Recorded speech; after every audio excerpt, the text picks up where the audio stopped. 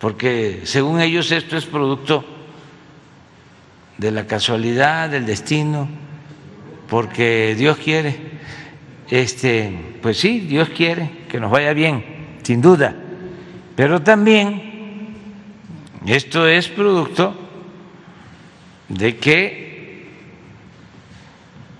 logramos convencer al presidente Trump de que era necesario continuar con el tratado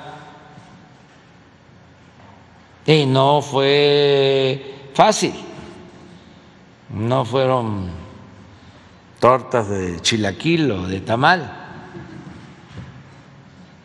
o chanchamito o ahora que está acaba de pasar el mole de cadera.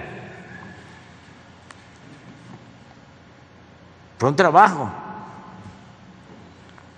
porque no se quería continuar con el tratado.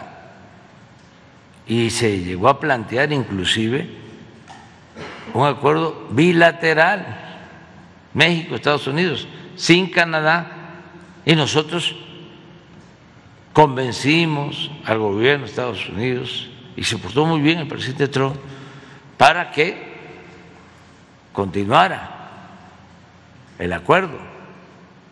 ¿Y eso qué nos da?